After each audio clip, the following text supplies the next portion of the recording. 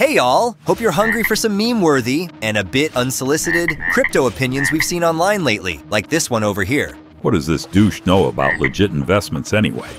Meme coins clearly didn't work out for this guy, sheesh. But it's not everyone's case. Of course, you could follow traditional investment projects that are, you know, considered legitimate. Like I care anyway. But traditional investments, like real estate projects, aren't for everyone. They're way too expensive. Meme coins, though, everyone can join. All you have to do is a bit of research and have an internet connection.